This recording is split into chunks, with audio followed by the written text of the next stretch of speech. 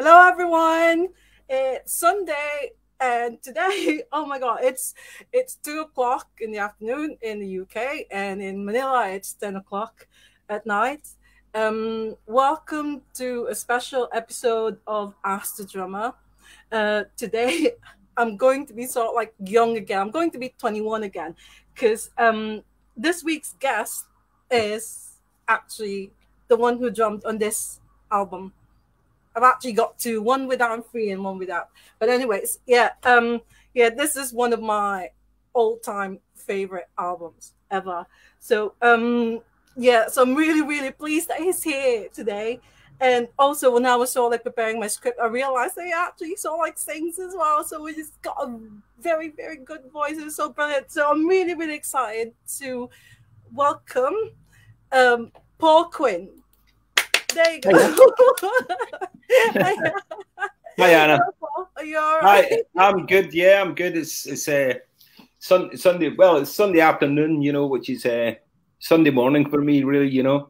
Yeah, it's it's still very cold though, isn't it? It's like I mean, it's still winter. I can't wait for spring. uh, yeah, yeah, I will. Yeah. I kind of like. I kind of like the. I kind of like the winter. You know, I like the. I like the colors and stuff like that. You know.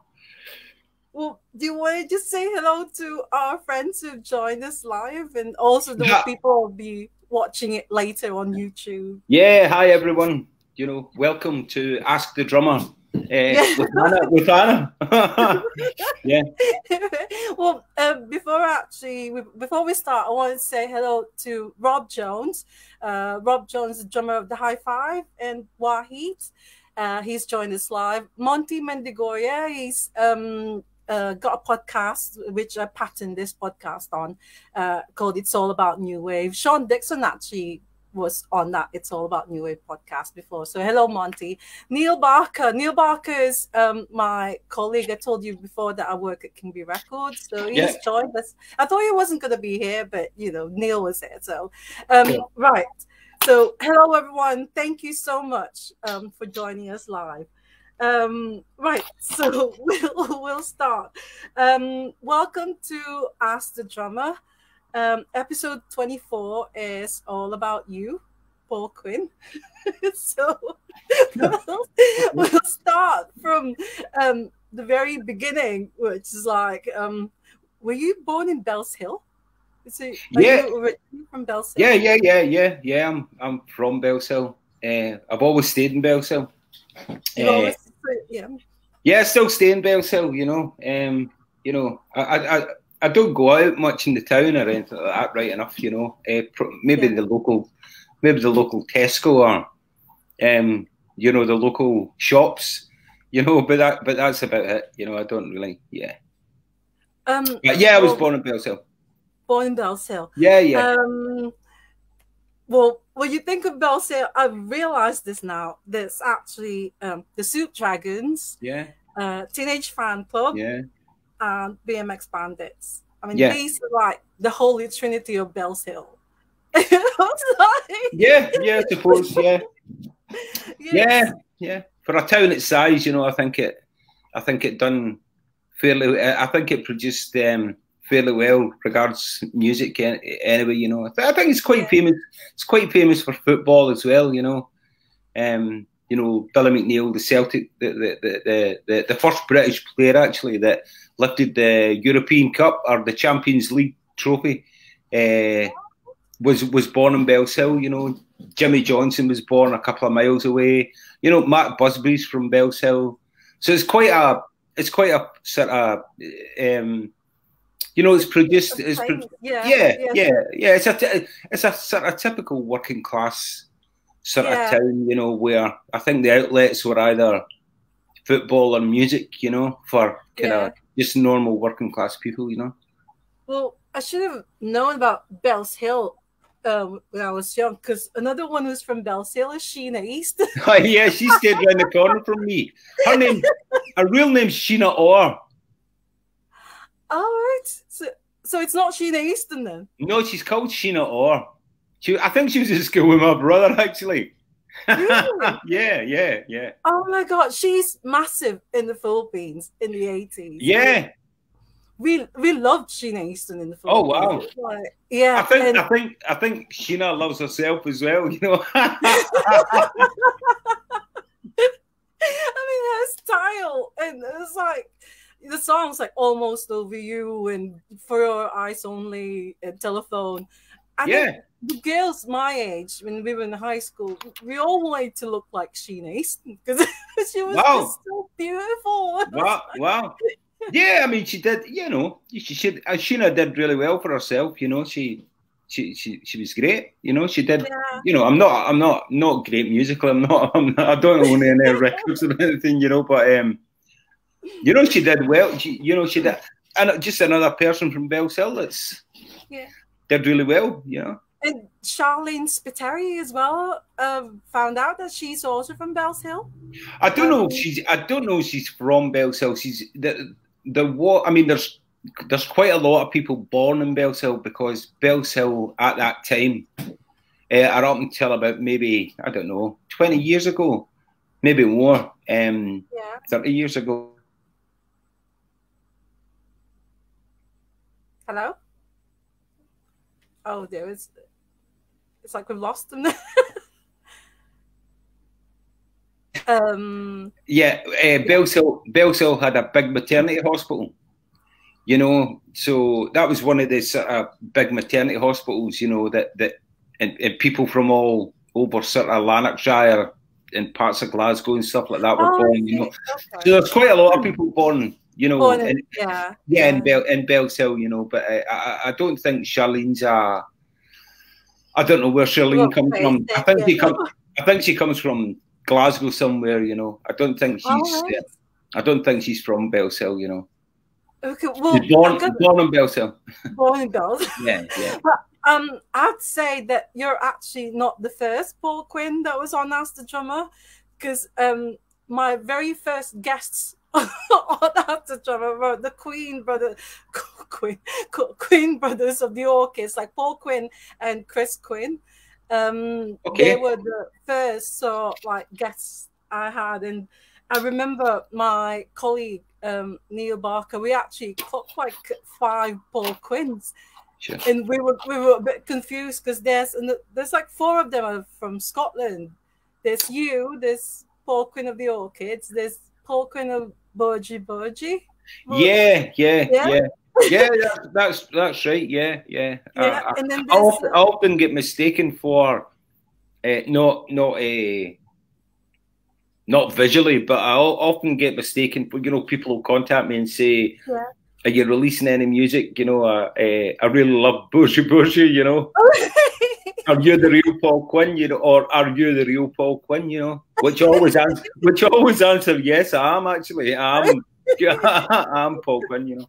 Well, there's also um the football player, Scottish football player. I think like uh, played in uh, Motherwell. Yeah, yeah, that's right, that's right. That guy played for Motherwell. Yeah, that's right. Yeah. Paul Quinn as well. Yeah. Oh, there's Yeah, a lot. uh, There's a lot. yeah. Well, there's also like an Irish band um, called No Sweat, and the singer of that band is also called Paul Quinn. So it was all like getting a bit confused. I mean, which one is the real Paul Quinn? Well, But you're, well, I can well I can genuinely say that I'm the real Paul Quinn. yeah. I'm- you're Well, Paul Quinn of the Soup Dragons, which is yay. yeah, well, yeah, yeah. I, well, I played with the Soup Dragons. well, um, I also want to say hello to Guy Keegan. Guy Keegan is the drummer of the Railway Children. Uh-huh. Um, he's joined us live. And um, Gilbert, who's in Manila, uh, he's also joined us live. He said, "Hello, Paul." So, um, Hiya, guys. yeah, and of course, my husband is always here because he's my technical support. So, All okay. right, okay. my husband is always watching. So, Hello, hello, um, hello as well. right. Um. So. Um. Oh, sorry. And Richie Dempsey. Oh, so- Richie. Hi, Richie. Richie, Richie's yeah, a good. Yeah, Richie's Richie's a good friend. Good guy. Good sound. Great sound guy as well. You know. Yeah. So you played um, uh, the Soup Dragons and uh, Teenage Fanclub. Did you play in BMX Bandits as well? No, I, no, I didn't actually. Um, I was not. I, I never. I think I played one song one uh, during a show, but apart from that, I was never a member of the of a uh, BMX Bandits. No, no, no, no. I think I was one of the very rare uh, Scottish musicians of that of that sort of scene that that, that, that actually didn't play uh, with BMX Bandits. You know. Yeah. Oh, so it was like two out of three ain't bad. it's like what Meatloaf what Meatloaf said, or which you know, sadly, I mean, a few days ago, I mean, Meatloaf. Yeah, yeah, yeah. That's yeah. So, really, really yeah, sad news. Really you know? sad. Yeah. yeah. Uh, did you like it? Did you like his records? And were you a fan? What was that? Were you a fan of Meatloaf? I mean, I, I mean, I wouldn't say no, I'm not going to sort of sit and say, oh, you know, I thought it was amazing. I mean, I didn't, you know, that record really didn't do anything for me. You know, it was kind of, it was a bit too rock opera for me, you know, um, um, and a bit too, um, you know, musical, stage musical um, type type thing. You know, that that's yeah, a, like that's it's opera. Not not even opera, like kind of just stage musical. You know, and I'm not yeah, really, yeah. I'm not really a big fan of uh, you know, there's some great sort of classic musicals, you know, where there's some brilliant songs and stuff like that. But uh, uh, like you know, musicals, even film musicals, I'm not really a. It's not really my thing, you know. My daughters and my wife, my daughters and my wife are absolutely fanatical about um, music, musicals, but I'm, you know, I'm the odd one out in the house, you know. Yeah. Um, so, um, what was Bellshill like when you were growing up, especially the music scene in Bellshill? I mean, I think Bellshill, I think the music scene was, you know, I've always known Norman and always knew Sean and Douglas. Um, and I think those guys, those, those guys sort of went into Glasgow more often. Uh, they, they, they kind of hung out in Glasgow and stuff like that.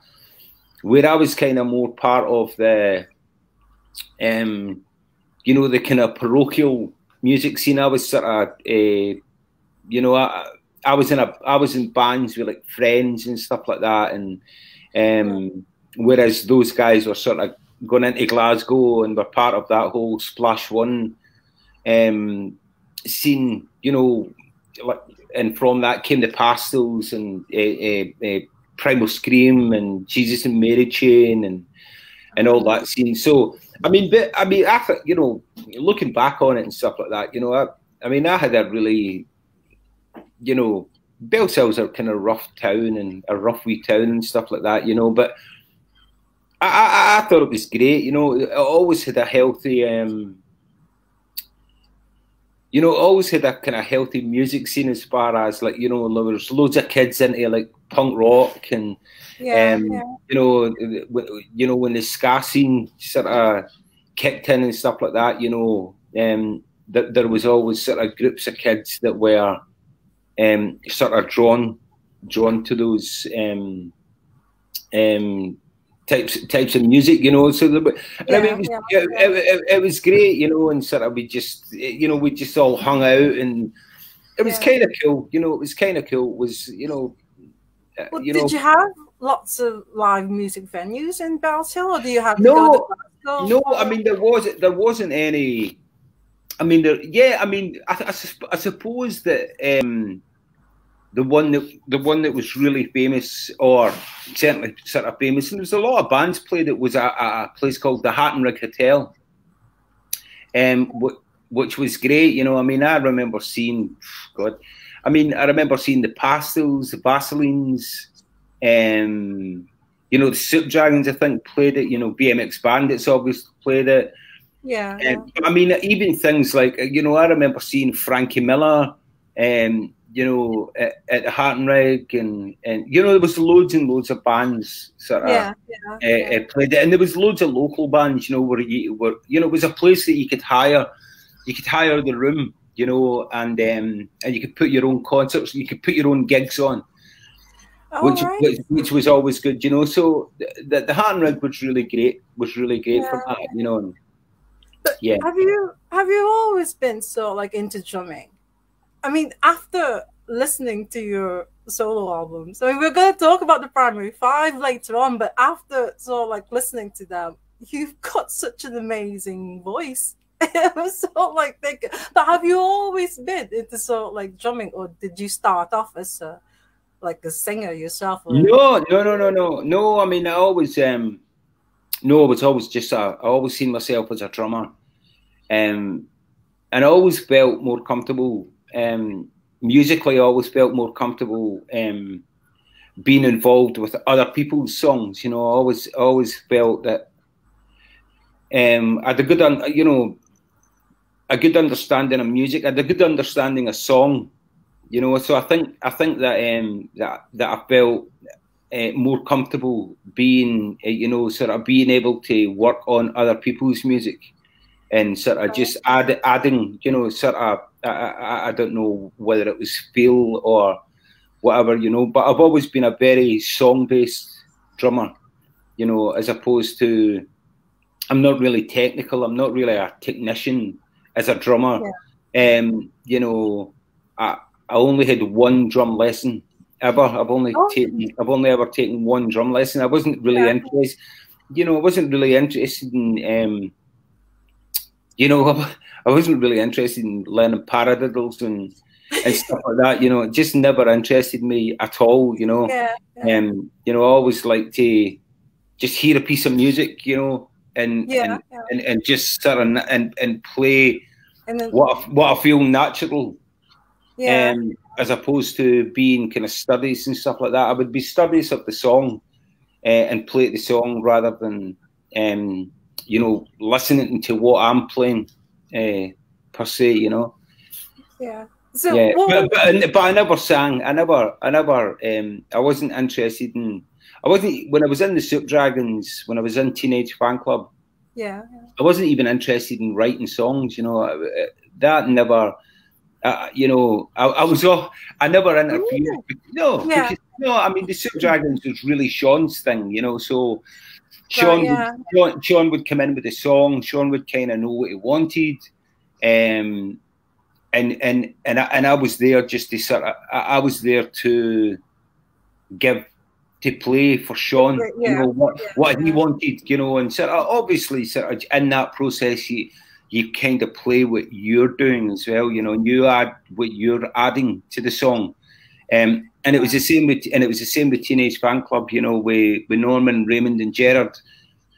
I never interfered with the songwriting process, you know they were songwriters. They had an idea of what they wanted, uh, what the feel was like, what the tempo yeah. was like, you know. And it was just my, it, it, it was kind of just my job to deliver that. Just deliver, yeah, yeah, yeah. yeah. And I and and I'm I was really, you know, that was my thing. You know, I was quite, I was absolutely happy to do that. You know.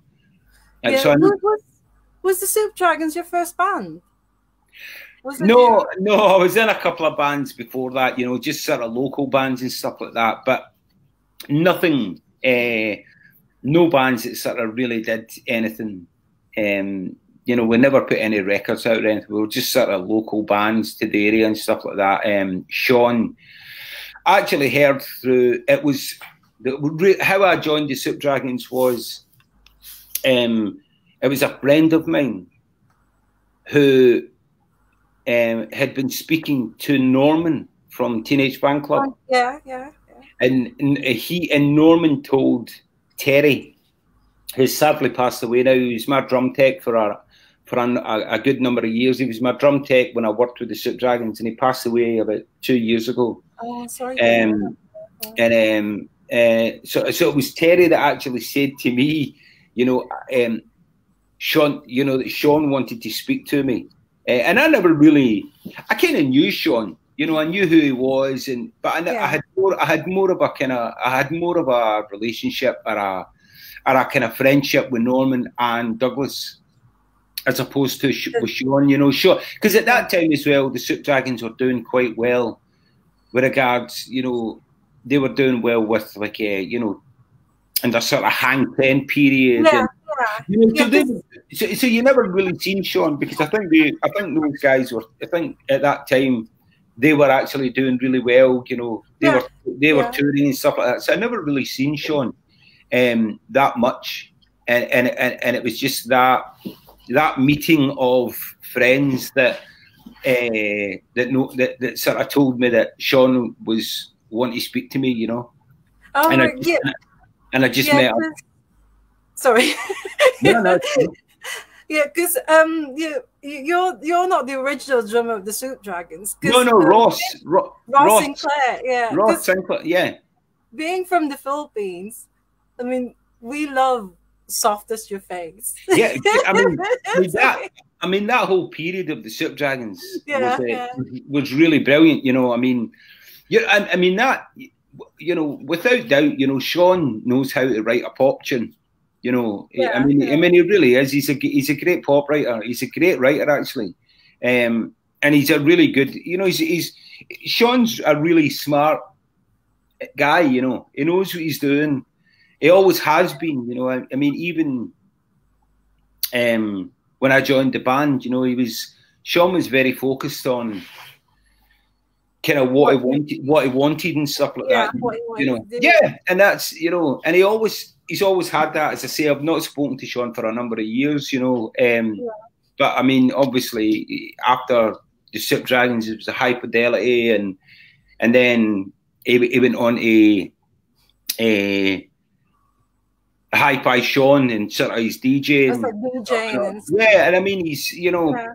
and I know I know a lot of people in that world, you know, and and um, and you know that by all accounts, that he's very good at what he does, you know, and that doesn't surprise me at all, you know. That that doesn't surprise me, you know. He's a talented guy, Sean, you know. Yeah. Well, it's actually when I heard I'm free, that's when I actually got into the Soup Dragons. Although I do know them from um, um, the early ones with Sure. Place. Sure. When I heard I'm free, I was living in the Middle East at the time. And I thought, oh my God, this is just so good. And like I said, Lovegod, when it was released, Yeah. that was like one of my most favorite albums ever. Right. And yeah. I just found out. I just found that's actually when you joined um, the Soup Dragons was during I'm Free. Well, I'm free. right? Yeah, well, I'm free. You know, um, I kick off the hits, man. I'm free was the first. I'm was the first thing that I recorded with the Soup Dragons. Yeah. yeah. That was the very first. That was the very first song um, that that um, that I recorded with the Soup Dragons, and it, that was just. I mean, I can remember that day when when Sean came into the rehearsal room, and you know, he, he just asked, you know, he, he says, "Has any of you guys heard "I'm Free" by the Stones?" And um, yeah. I, I, I could I could remember it, but I think they only ever played it live once. I think they only ever played it live at Hyde Park. Yeah. Um, was it a B side or something? it was the uh, B side, if, I'm not wrong. I think it was a B side of "Get Off My Cloud," which was released Right. only in America. Um, but um, and Sean had sort of mentioned, does anybody know this? And Jim uh, McCulloch Yeah. inst- yeah. instantly, instantly played that riff. You know, to start that ra- that riff at the start. Jim says, "Is this it?" And that was it. And we just started playing. We, we just started playing the tune. And I think about Yeah. literally, I think about three or four day, days later, we found ourselves in Livingston Studios in London, um, recording that track. Yeah. Yeah. yeah. Yeah, we. Um, I think I, th- I believe it was George Shilling was the was the producer. A guy called George Shilling. Um, Okay. and and and that that is just that is the story of I'm free. Uh, I mean, I mean, it was really nothing more than to us. It was just like a, a cover version, but I suppose sort of in production and stuff, Yeah. it yeah. sort of turned into this. It turned into this other thing, you know. And yeah, Uh, it's just so amazing because it just reminds me of that time when I'm actually I was I was young and I know I was so like say I was young I was free and I was sort of like working I had money there I was sort of like I'm free to do what I want you know like Yeah, no, time so yeah, I, I- yeah. I mean, it was a really crazy time that you know because we were. I think I think at that time there was. I think if I'm not wrong, I believe that um, Lovegod was had actually been released as an album Yeah. And yeah. and I think what the I think what the record label did was they recalled it and put I'm free on it. And put I'm free. Yeah, I've got Yeah. those two albums, one with and one without. Yeah, one with, yeah, that's right. I mean, uh, so I mean the the you know it had been it had been recorded. Um, they they kind of had been recorded because they gave me they gave me all the demos. That's what I learned uh, the tracks from when I joined the band. But we had actually a tour lined up. There was a tour all, already lined up. Um, and when I'm free, I think we did. I think we did a sort of small British tour, and then we had a break, and then there was more dates added when the release with "I'm Free" on it came out, yeah, yeah, yeah. um, and it was just such a bizarre.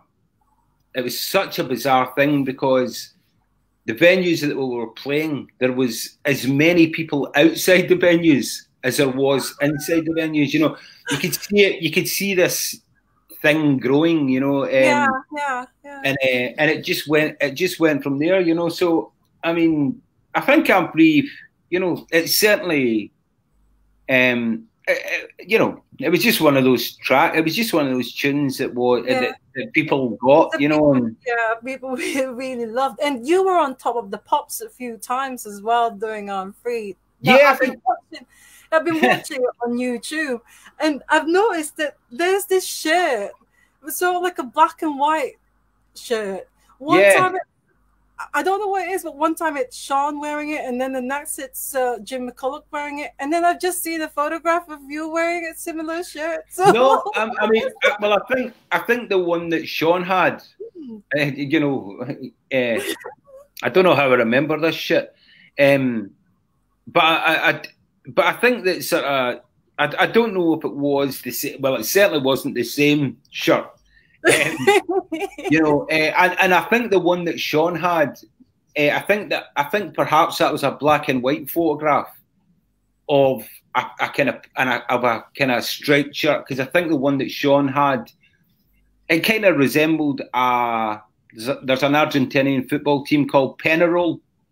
Um, Oh, okay. and it, and it kind of the shirt that Sean had on, the, the or a shirt that Sean had um, resembled that Penarol top.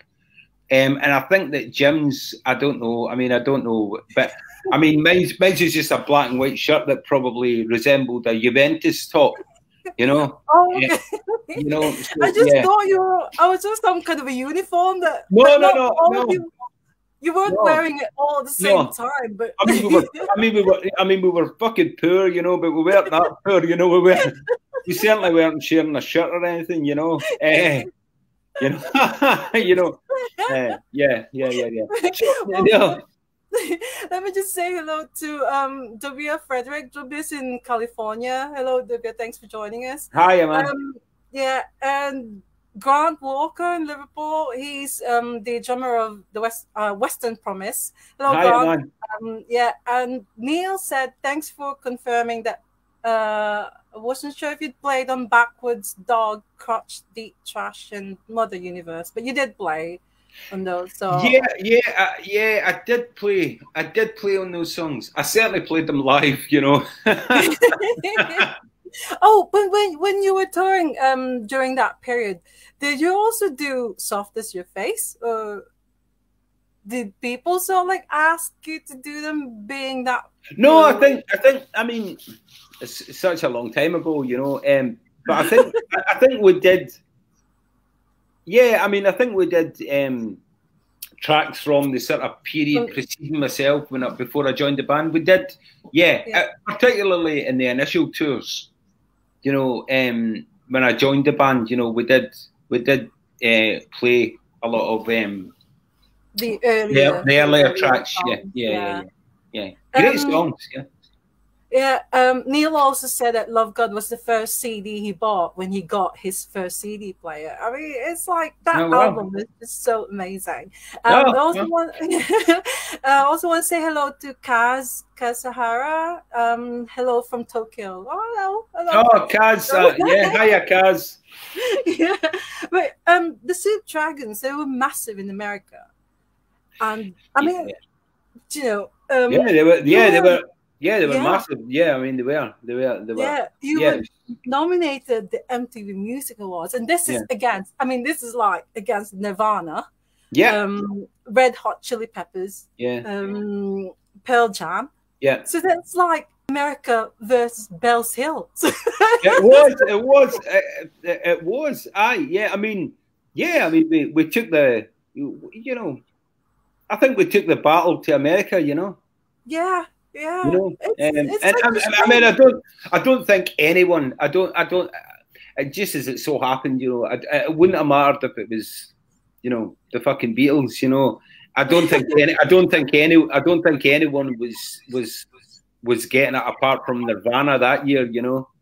yeah, yeah. Yeah, Oh, it was just wait, one of those things. But but it was amazing. That, sh- that I can remember being at the MTV Awards and all that. You know, Yeah. and I remember, um, you know, uh, you know, uh, Chris. I can remember Chris Novoselic no, knocking himself out with uh, his bass when he threw it up there. You know, and, um, you know, and uh, you know, and uh, seeing Elton John and you know, uh, wow. see, seeing Guns N' Roses on like, Oh my god. fucking stages, you know. It's like those, like that band couldn't be any more grandiose, you know. yeah, They were yeah. rubbish. That was Yeah. that was the thing as well, and they weren't very good, you know. Well, Nirvana- well, no, Guns, well, no, Guns, Guns N' Roses weren't very good at all. Actually, no, Nirvana were brilliant. You know, they they. I mean, they were a pro. They they're a proper group, you know, and they were they were on song that evening, you know. So yeah. Well, Nirvana won it. yeah, Uh, they won the award, but I think it would have been nice if it was so like if you would want it, if the Soup Dragons had won it. So it's like you know, yes. I know it would have been lovely. It would have been lovely. Yeah. I don't think there's any denying that. That, that uh, yeah, yeah, uh, yeah. It's uh, an MTV award, you know. Yeah. Well, before I ask you about Teenage Fanclub, there's one thing that I ask you. I asked you this before, and um, you got a lifetime ban from the BBC. Is it? I, I don't. Sorry, I I I shouldn't really laugh about it. But, um, you, Yeah. Because um, I've seen I've seen the documentary before, but I've Sure. actually when I was doing this, I've um, looked it up again, and I saw I watched it recently. And yeah, it's about you and Sean talking to Lorraine Kelly. And Yeah. I've forgotten the name of the, the other presenter, the other Richard guy. Richard Keys was the other guy. Richard, oh, Richard Richard Keys, who Richard Keys, who went on to, um, I think he went on to do Sky Sports for a long number of t- uh, years um, until he get, uh, you know, he get caught being a bit, uh, you know, uh, not, not not very pleasant speaking about women, you know. Uh, you know, I think I think there was a few things he sort of says about women, or a Oh. particular woman, a woman, sorry, that um, get caught on camera, you know, uh, and and uh, I think Sky Sports were like, okay, shoo, Richard, you know, he, so so Richard, uh, yeah, Richard uh, Keys getting himself locked out, you know. oh god. So um right, so Sean well going back to this interview, it was sort of like saying um because it was a documentary about I think Scotland, music in Scotland. Yeah, yeah, yeah, yeah. Sean was saying that um, you got uh, escorted by the security, and then you were told that you're banned for life. And I was Yeah. sort of like thinking, why? I mean, I mean, you didn't even do. You was. I think the only thing is you weren't answering the questions. You were sort of like just chatting.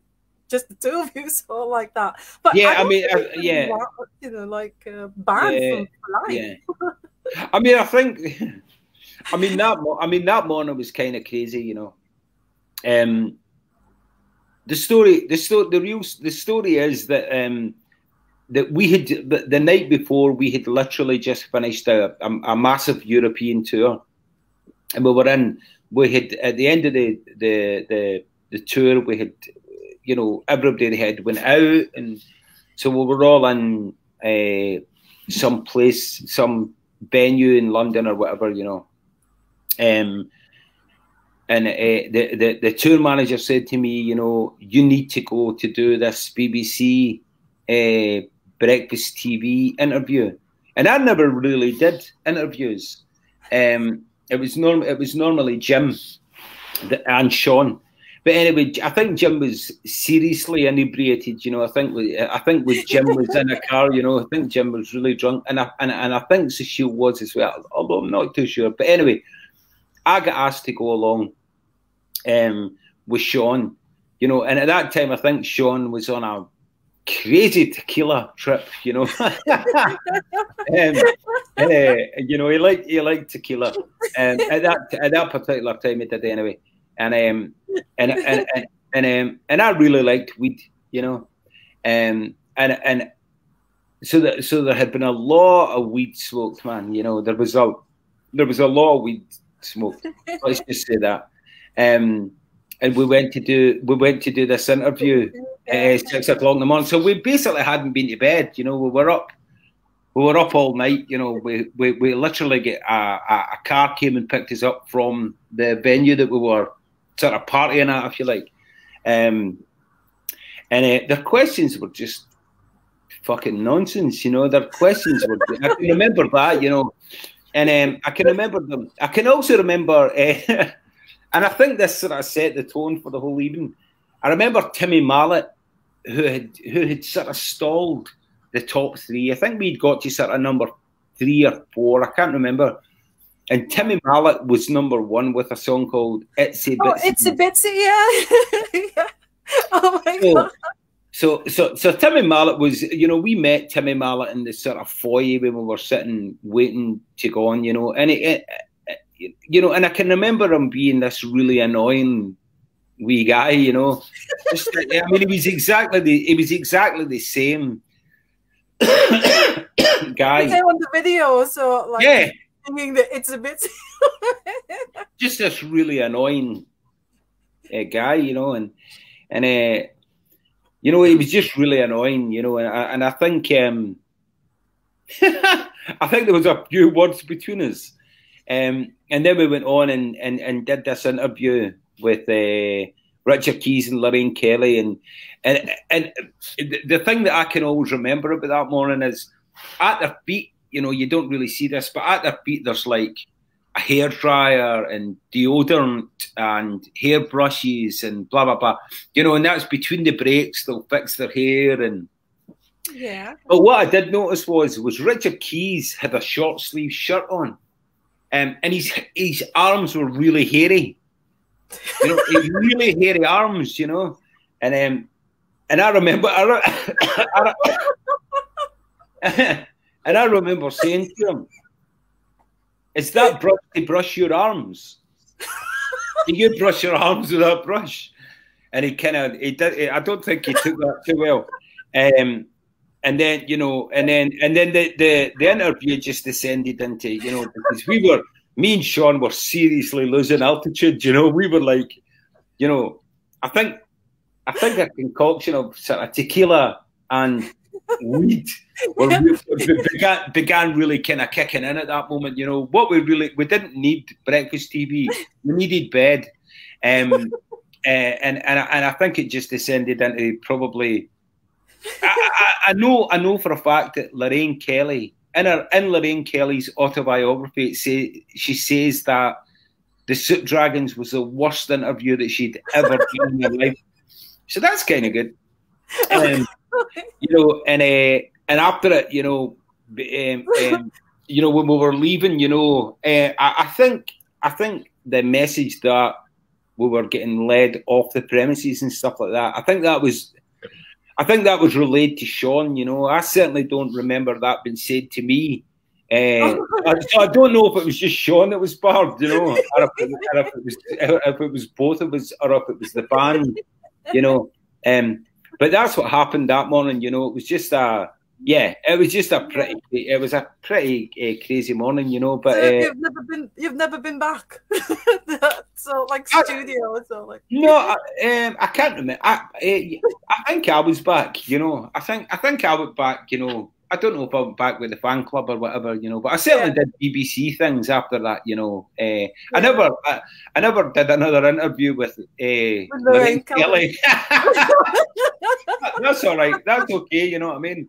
Yeah, yeah. I can live with that. I can live with that. oh my god, funny. Well, Neil just said he'd love to see the full interview, but I think there's only like clips of it on uh, on YouTube or on uh, online, so yeah. that would be nice. Right, yeah. so we'll talk about Teenage Fanclub because I was saying, um, I was saying to you before we got um before we went live that this is the band that I actually missed out on. It was like big time because every time I post it on Facebook, lots of people just say, you know, comments that like it's, it's like for the best band. I mean, um, Oasis, uh, Liam Gallagher said apparently this is on um, on according to Wikipedia that he said it's the second best band in the world second yeah. only to Oasis. Yeah, no, I mean, you know, I, I, I, can absolutely, I can confirm that that Liam did, that Liam did say that. Yeah, Liam did say that. Yeah, because it, it, it, was in um, it was in Air Studios in London that he actually said that. You know, and I did hear him. He, he was right in front of me. I did hear him say that. You know, um, Liam's a good guy. Yeah, you know, yeah. Liam, yeah, Liam's Liam's a good. Liam's a really a really a really good guy you know, a really good guy. And he did say that, you know. Um, yeah, I mean, I know that. Um, I mean, in previous, um, even before that, we had met. You know, Noel.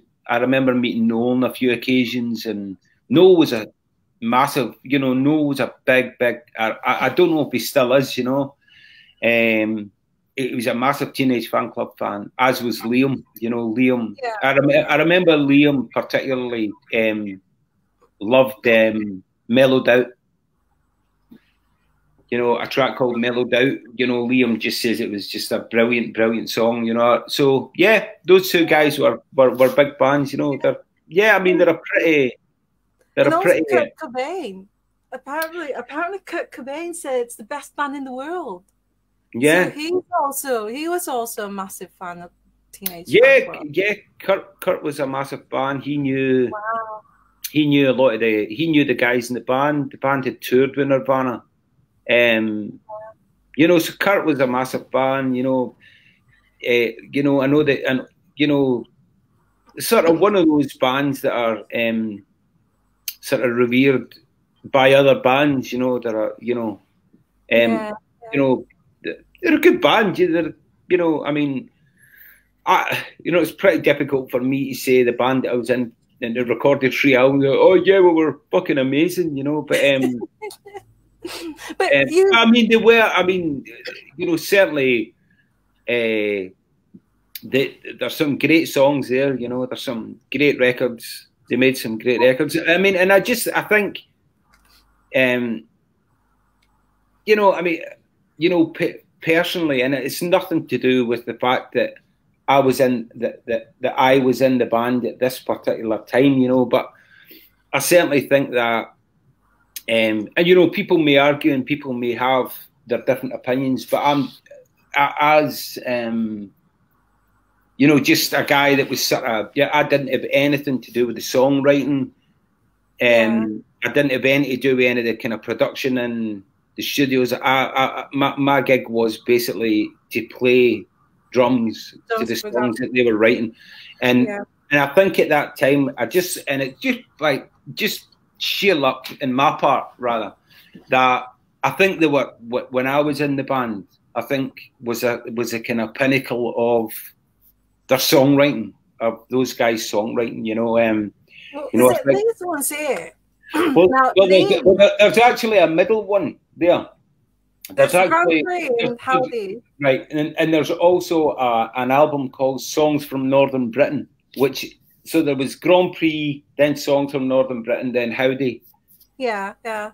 Well, uh, I got these from King Bee Records yesterday because, like I said, I mean, I'm not, but I listened to them last night and I just thought, oh my god, it's it's just amazing album. So it's really, really good. So uh, yeah, I mean, I, yeah, I mean, I think that I think and again, I'm you know I, am only talking regards songs. You know, I'm not talking about you know drumming or whatever. You know, I think that I think they're great. I think those three records were sort of the pinnacle of those guys' songwriting.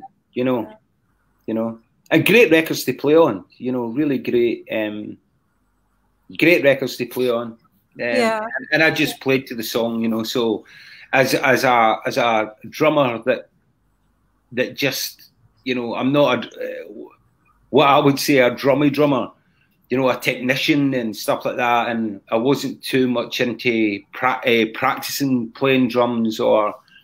Um, I just I, I, I kind of like to be in a room with another two or three people and play. You know, yeah, yeah it's a kind of you know it's a it's a you know a, a, drums to me are, are very much an accompanying instrument.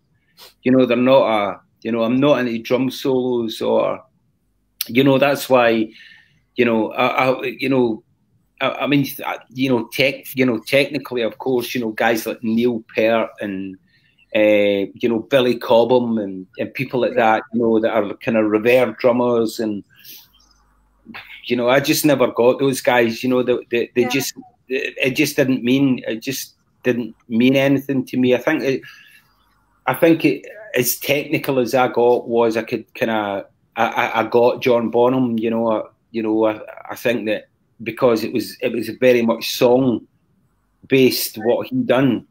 So, um, so have you not got any drumming heroes? Yeah, oh yeah, my, oh, yeah, my, drum, my, my, my, drumming hero without any question is Hal Blaine.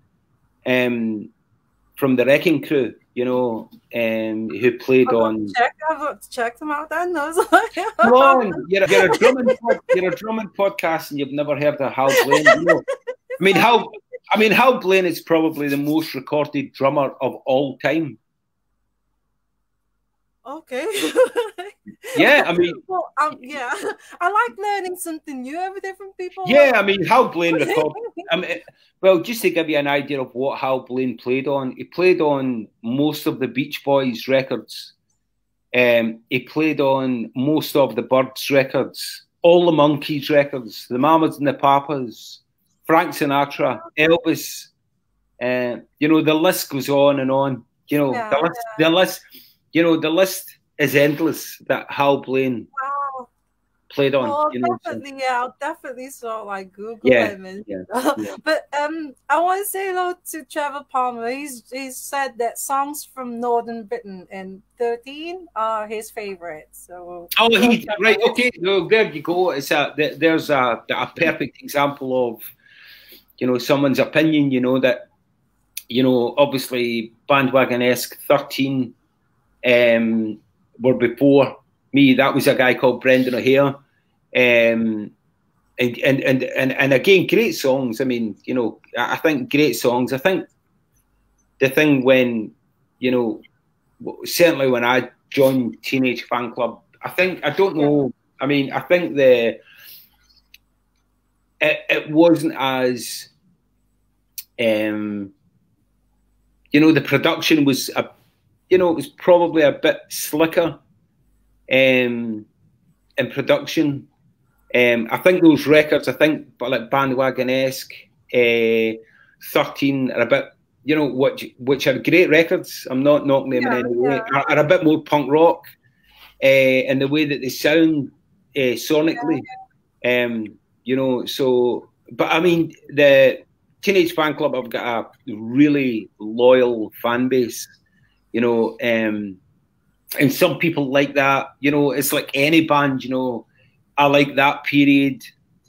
I prefer yeah, yeah. period. You know, I like this it's, period. You know, yeah, it's like with the Soup Dragon. Yeah, I mean, yeah, yeah, I like the period of Lovegod and. yeah, yeah, exactly. I mean, and then there's people that that that will much prefer yeah, the early teenage yeah, stuff, uh, the early Soup Dragon stuff where it was yeah, Frost, it was playing drums, you know. But I think that's absolutely, you know, I think that's, I think that's just sort of shows you what or how um, influential a drummer can be. Yeah, to, yeah, to, yeah. to a band, you know, it's you know, it's like, you know, it's like when Charlie Watts died. Uh, God rest him. Um, you know, for me, the Stones should have just says, right, that's it. Yeah, you know, it's done.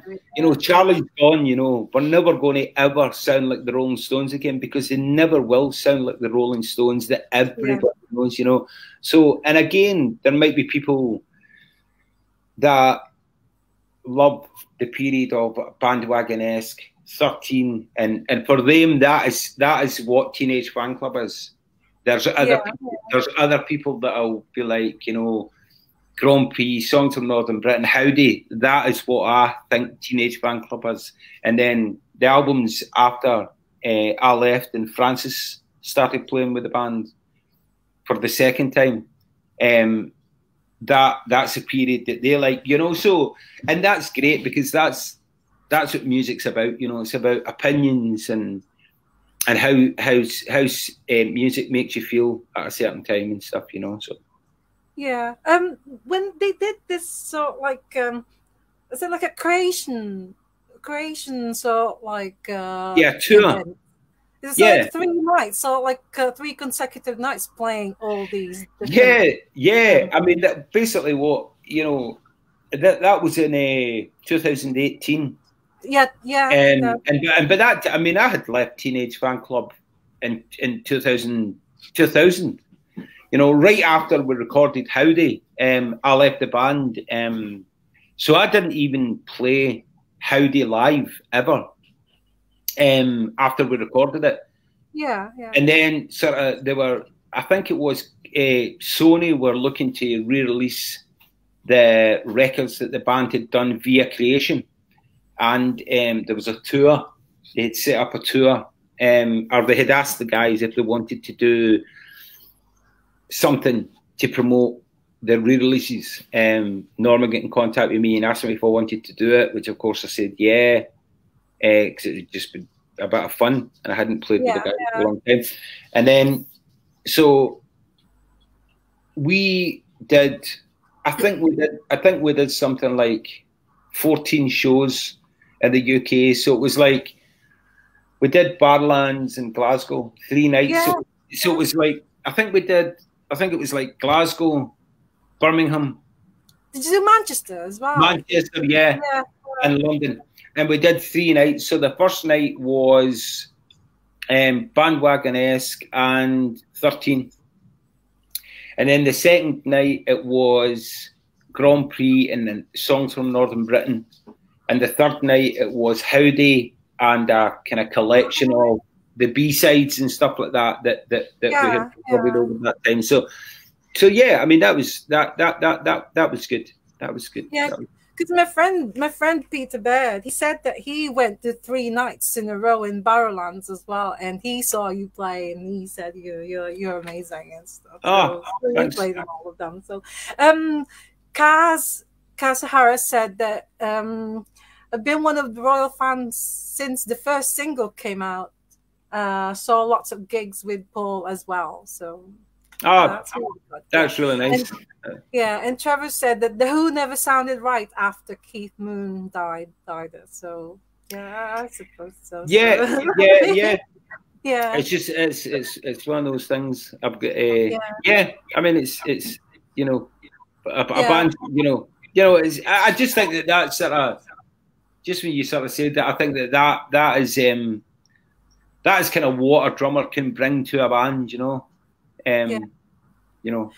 Well, we've got to like talk about the primary five because yeah. I mean, this is like really new to me, and I really, really love your voice.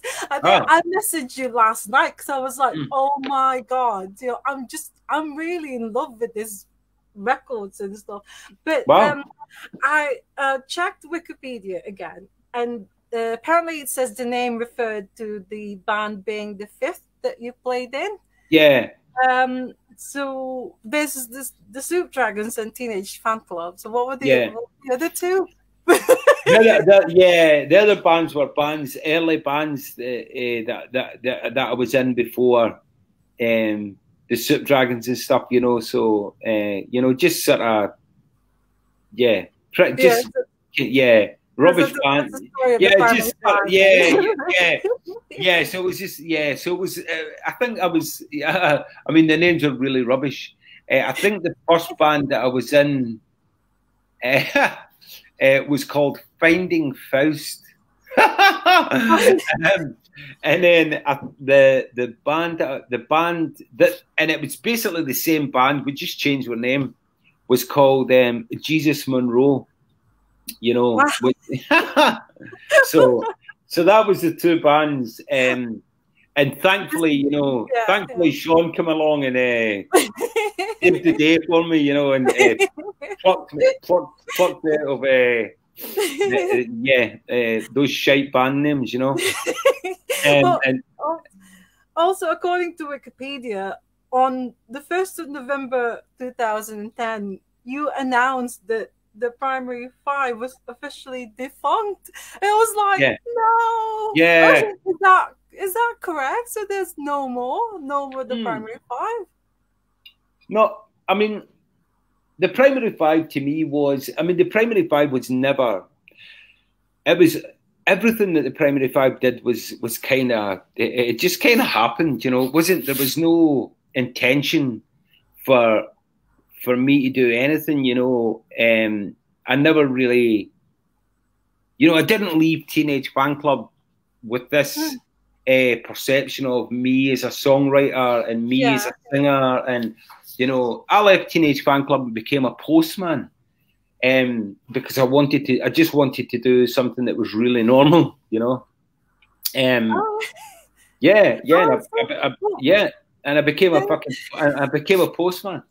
Um, well, one of the songs that actually sort like yeah, it's mailman. mailman. mailman. Yeah, that's really good. That mailman. Yeah, yeah. Well, I wrote that. I wrote that one morning when I was what when I was doing my um my um, walk, as they call it. Yeah, you know, yeah, yeah.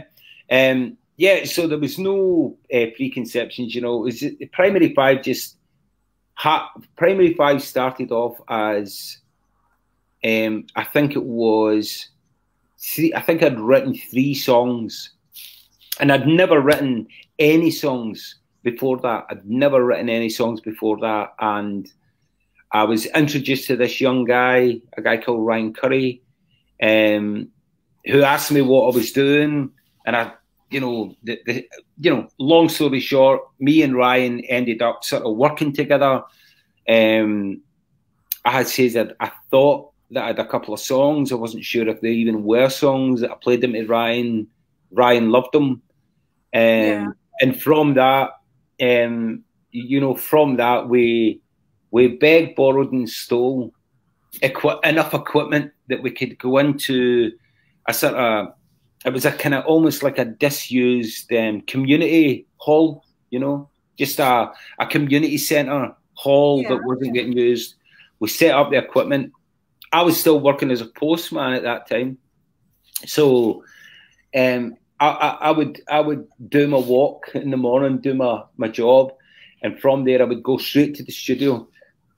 And we would record and we would record and Ryan had a job that started later on in the afternoon so we only had like I think we had like three or four hours each day. And um and we just went and, and we just went we worked on these songs and um we ended up we my, my I wanted to get a singer um, and we auditioned a few people. Uh, we had all the backing tracks all done blah blah blah. And and Ryan, it was Ryan's suggestion. He Ryan had said, "Why don't you just why don't you just do the vocals so that we've got the vocals done?" And I and I really didn't want to do the vocals, uh, but anyway, you know, I ended up I did the vocals, you know, um, and and I sent up and I and, and one of my friends, a guy that a, a guy that, that I'd worked with with the fan club and stuff like that, a guy called Nick Brine, who works at Rockfield Studios in Wales. Um, yeah. You know, Nick um, had contacted me and said, um, "Oh, I heard that you've got, I heard that you've got some songs. You know, I'd love to hear them." I sent them to him. It was only two or three songs I sent to Nick, and Nick at that time was working with Oasis. Um, and he was during a sort of break, he was sort of listening to the tracks.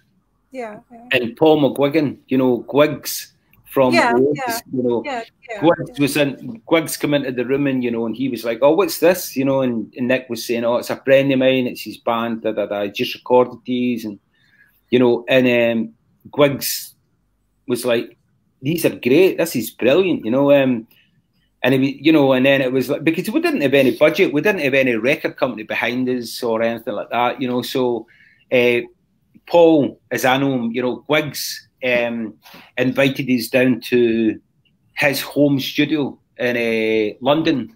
So we Oh, down, so so me and Ryan went down uh, to Gwig's house in in a in a London for about ten days, um, and finished off these recordings and sort of Nick uh, Nick mixed them and and stuff like that, you know. And those and that was North Pole. That that was what The first, yeah, the first. the first one. album was Oh, not yeah, yeah, it was North Pole. And uh, from a a release point of view and stuff like that, you know, um, you know the way that I had seen it was, I didn't really want to down the route of sending demos off to record labels and so. I mean, I, I, I knew a lot of people in the music industry and stuff, but I didn't want to go down that route of sending things off and you know trying to get a record deal or anything like that. You know, um, you know because I because I also seen it as you know this guy was a drummer in the Soup Dragons and in Teenage Fanclub, and then he leaves Teenage Fanclub and he goes and he starts. He all he suddenly becomes a a fucking singer songwriter, you know, and and that just wasn't what that just wasn't what I had in mind, you know. So I decided just to uh, invest a bit of money, get a run of CDs made up, and and basically started my own record label, which was called Bellbeat Music. Yeah, yeah. Yeah, um, and from that, I managed to, um, you know, it, it was crazy actually. It, I actually managed to uh, get enough uh, licenses. You know, I, I began licensing the record. Uh, I think I licensed it in Japan, in a, in Korea, um, in the States, and then you know, so I was getting all these sort of uh, small license uh, deals in sort of worldwide, you know. So, um, so it's like, oh, this is this is pretty cool, you know. So, in your own way, you've got you've sort of created a distribution for the records, you know, without Yeah, creating your yeah. own distribution. Um, Yeah. and um, and that record went on to sell about ten thousand copies. It's, it's just amazing. Crazy, absolutely fucking crazy, you know. yeah. Yeah, I mean, you know, you know. well, how did how well did it do in the UK? I mean, it done great. In the, I mean, it done great in the UK. What I done in the UK, what the distribution in the UK was me sitting in my bedroom, getting, I'd set up a website. People were emailing orders, and, and it was me and my kids that were uh, sitting, okay, putting them in, sitting, putting them in a bag and stuff. And then, yeah, yeah. you know, we, uh, I, I, I think it was Fopp, the record label, uh, the record shop Fopp. Yeah, yeah, but just part Um, of HMV, isn't it? yeah, is like- yeah, Well, yeah, but kind of before that, um, the guy, the guy that kind of ran the, dis- the the guy that ran the distribution and sales for Fopp contacted me, you know, and says, um, you know, we would really like to take a stock of this record, you know. Um, so I think they took about fifteen hundred records, Wow. um, and it sold, you know, um, and and and that was that. You know, Yeah. that was did, that. did you actually go on tour?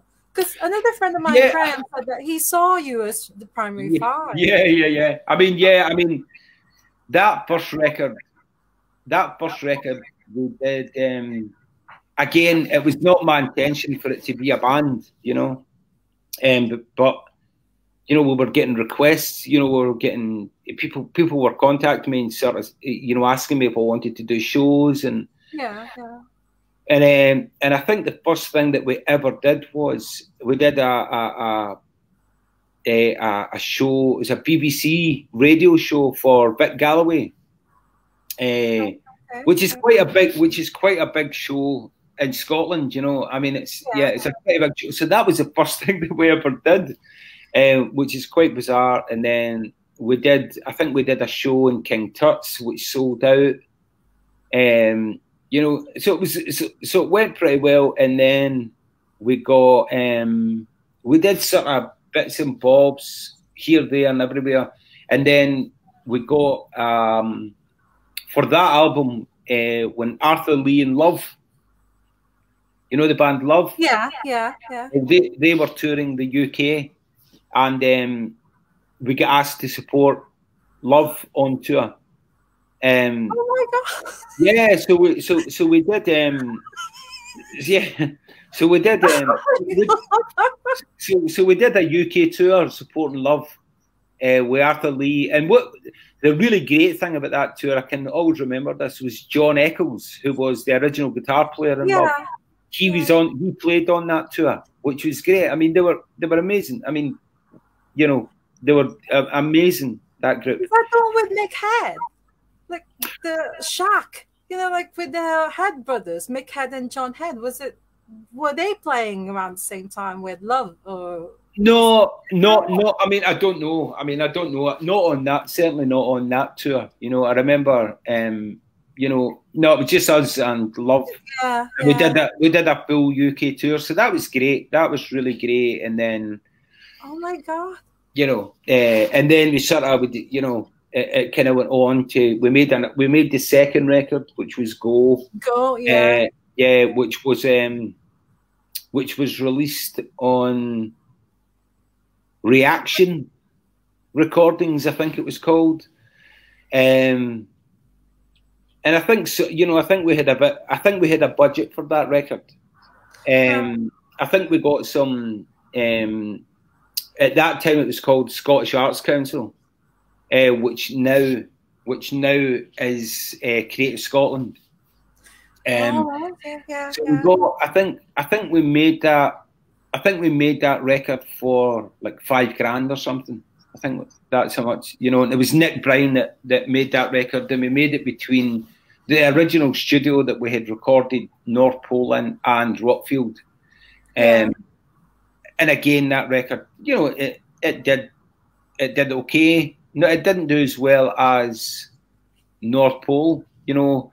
The, the first um, one, yeah. It, it, no, it didn't do that, and I think that was down to. I mean, I don't, you know, I, I don't know if that was. I think it.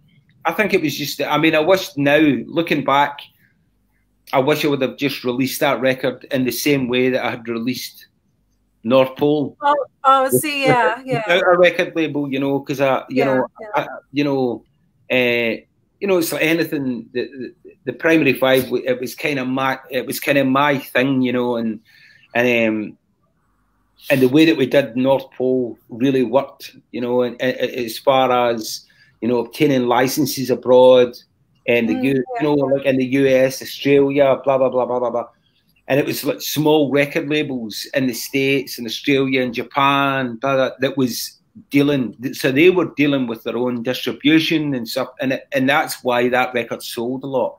And I think, you know, in hindsight, you know, I wish I would have done that with with the second with Go. With the second and the third, you know, and the third one, and yeah. the third, eh, which was High Five, you know, um, yeah and I think the, you know, I think the, you know, the whole thing sort of came to an end. I think that I think the whole thing came to an end for me personally when, you know, it was a, a, a sort of, there was a few things that sort of came into it, you know, um, when um, that's my wife just she just oh. got work. Hello. Hello. Hi. Um, um, she, um, yeah, so uh, there's quite a few things, you know. I, I, I never felt comfortable being this sort of singer in a band. That was one, yeah. you know. I never ever felt comfortable being at the front so of a band. is there, is there no plans of reforming? Maybe. No, I mean I've got no. Um, I mean, there there has been talk recently of yeah. um, maybe a single coming out. Um, oh, wow. You know, via friends label, um, and that that kind of appeals to me. You know, that you know, just a kind of one off. I don't think I would. I'm not really into the the album thing. You know? no, I wouldn't do that, you know, and I don't really, you know, the going and playing live uh, thing for me. Uh, I don't know if I would do that. But who knows? I mean, who knows? I'm not sort of, I'm, I'm, I'm, you know, never say never. never say never. Yeah, that's No, right. never, never say never. You know, but um, yeah. So there may be uh there may be a single uh, in the not too distant future. Yeah, and You know, for myself. I know- And the, and Yeah, the primary five, the primary five is kind of, you know, it was never meant to be a band or anything. It was just, it was just my vehicle for for releasing songs. You know, so m- very much like the BMX bandits. You know that that I've always had this ever changing lineup of musicians behind it, but the mainstay is Douglas. You know, yeah, and, and it's just, well, that's that's that's kind of really what the primary five is. You know, to me, you know.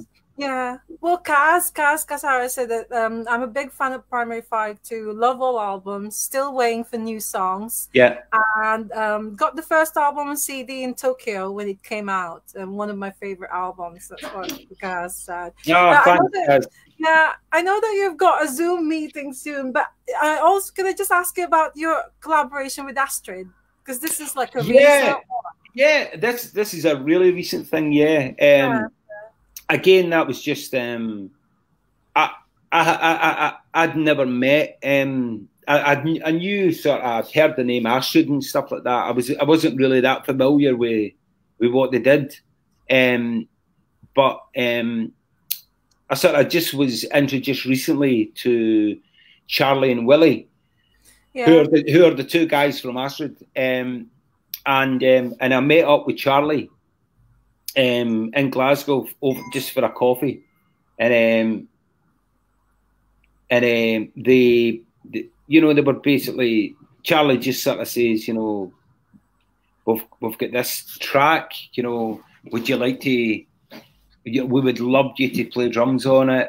Um, you know, you- would you be up for it? You know, and it was really just it wasn't it wasn't a sort of big deal or anything. You know, it was just um, they asked me to do it, and I said yeah.